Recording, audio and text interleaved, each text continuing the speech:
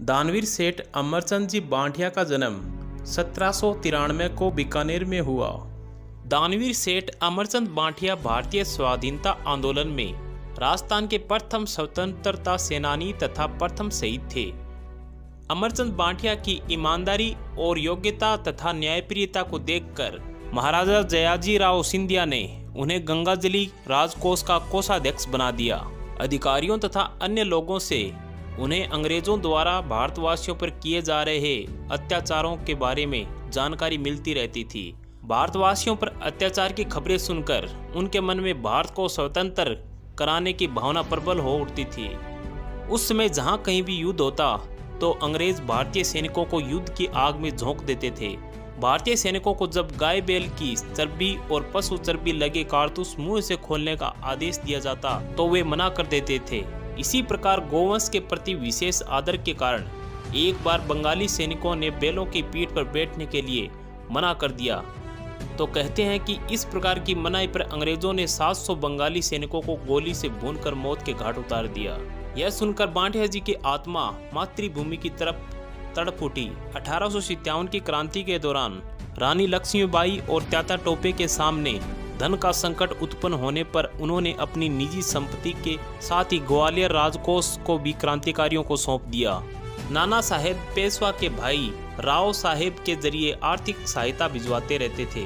वे हर प्रकार के देशभक्तों की मदद करते थे। बांटिया जी के इस नियोजित सहयोग के फलस्वरूप वीरांगना महारानी लक्ष्मीबाई दुश्मनों के छक्के छुटाने में सफल रही। ब्रिटिश शासन ने देशभक्त अमरचंद बांटिया के सहयोग को राजद्रोह माना।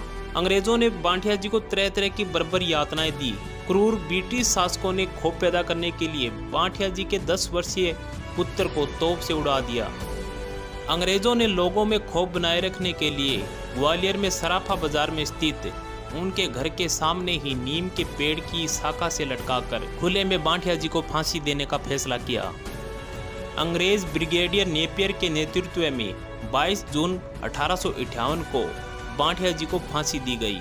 उनकी इस शहादत से चार दिन पूर्व ही रानी लक्ष्मीबाई वीर गति को प्राप्त हुई थी। अंग्रेज़ों की बर्बरता तब भी कम नहीं हुई। उन्होंने अमर शहीद बांठिया जी के शव को तीन दिन तक नीम के पेड़ पर ही लटकाए रखने का आदेश दिया। परिजनों ने अंत्येष्टि के लिए पार्थिव श्री मांगा, लेकिन अंग्रेज़ों ने उनकी मांग ठुकरा दी। अंग्रेज़ों के सिपाही नीम के पेड़ पर लटकते उस पार्थिव शरीर का पहरा लगा रहे थे। उन तीन दिनों तक अंत्येष्टि होने तक उस खोपनाक एवं दुखद माहौल में बांठिया जी के परिजनों, रिश्तेदारों और देशभक्तों ने अन्न जल ग्रहण नहीं किया। बांठिया जी, अठारह की क्रांति में राजस्थान से शहीद होने वाले प्रथम व्यक्ति थे, इसलिए इन्हें राजस्थान का मंगल पांडे भी कहा जाता है। उस ऐतिहासिक शहादत का साक्षी वह नीम का पेड़, जिसके नीचे वर्तमान में अमर शहीद अमरचंद बांटिया की प्रतिमा लगी हुई है। चैनल को शेयर, सब्सक्राइब और लाइक का बटन दबाना न भूलें।